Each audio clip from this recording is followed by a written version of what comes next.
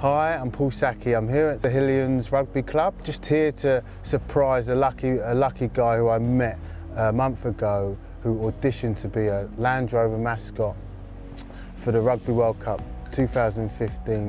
What I would say to the captain of the Rugby World Cup team is that there are 30 million people around the world watching this game, but more importantly, 30 children in my class at school. The lucky guy is William. He's out on the field right now and we're going to go and surprise him.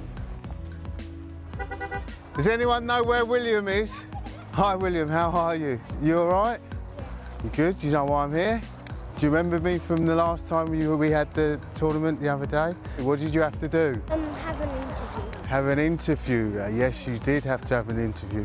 It was for obviously being one of the mascots for the Rugby World Cup 2015. You're one of the winners. Congratulations, well done. Well done. You all right? Well done. Here, let's have a little picture. Let's have a little play. I'll play, I'll play. as well. I will say one thing though. I am retired, so please don't hurt me, kids, all right? Let's go, William, let's go. It was really nice. It was really nice to see the look on his face when we came and surprised him. He's just going to hear a massive roar because it would be an experience that no one, bar the players and the mascots, will feel, especially being walked out in front of 90,000 people in a World Cup. How do you think you're going to feel about going out in front of 90,000 people being a mascot?